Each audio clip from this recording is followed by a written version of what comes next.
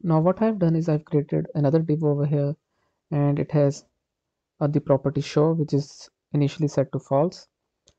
And below it I have this span which only gets shown when this show property is true. So currently it is not showing. And it has the HTMLS button was clicked.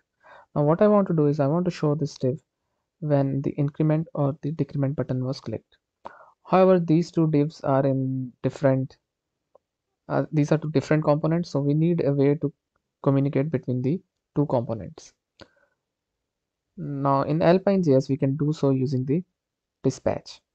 So what I'm going to do is I'm going to dispatch an event and we need to give the event a name. So I'm going to give it a name of let's say uh, notify and I'll do the same thing inside the increment. I'll need to change this to a method call. And what we need to do is within the other component we need to listen for this notify event.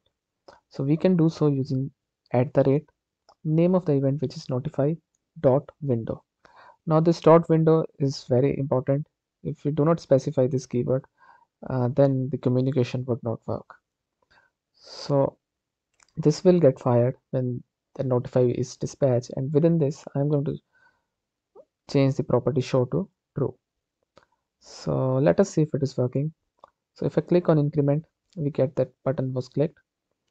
And if I reload it and click on decrement button that is also working fine.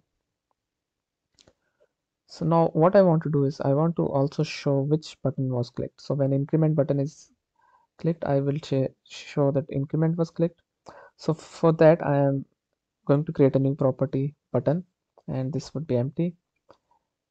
And this button I'm going to change to span and use x text and link it to this button property.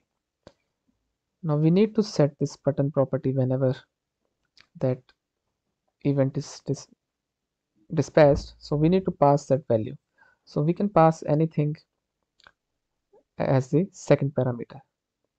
So anything that is passed as a second parameter would be dispatched along with the event. So now over here we need to set the value of button. We can do so using button is equal to dollar event dot detail. So dollar dot event dot detail would contain the payload which was dispatched so now if I reload it we get that increment was clicked. And if I click on the decrement we get decrement was clicked. So this way we can use dispatch to communicate between the two components in Alpine JS